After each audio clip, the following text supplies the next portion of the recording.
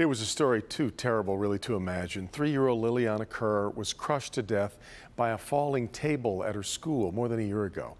Her mother has been fighting for change ever since. Tonight, as the battles in Lansing brew over so many bills, there's one that has this downriver mom walking the streets asking for your help. Mara McDonald live in Dearborn Heights, where Lilliana was enrolled in the Head Start program. Mara. Devin, that's right. She was enrolled right here at St. Albert the Great. They had these tables that were stowed in the walls. One of those tables came crashing down on Lilliana, and she died of blunt force trauma to the head.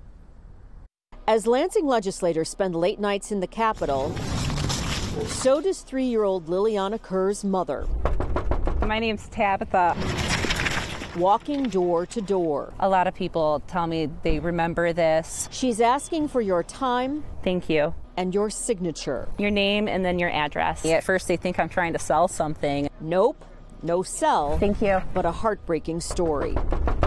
My little girl was the girl who was killed at St. Albert the Great when a table fell on top of her. Lilliana was crushed by that table during recess. The old table came crashing down on her from where it was stowed in the wall. Tabitha testified in Lansing about what happened, and State Representative Klint Kesto fashioned a bill to beef up school inspections, but so far, no vote during the lame duck session.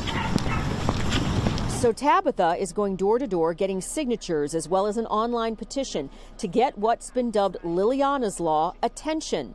House Bill number 5984 would make school inspections a yearly requirement and force districts to follow up with remedial action if violations are found. They inspected the school for 36 minutes and the state approved it. How do you inspect a school for 36 minutes to make sure it's safe?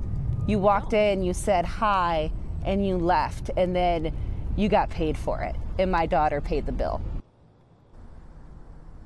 Back here live as we speak, the State House is in session in Lansing. They are expected to go all night. Lilliana's Law is not something that is up for discussion, and Tabitha is hoping to have 5,000 signatures by next week to try and get them to pay attention. We're live in Dearborn Heights. I'm Mara McDonald, Local 4.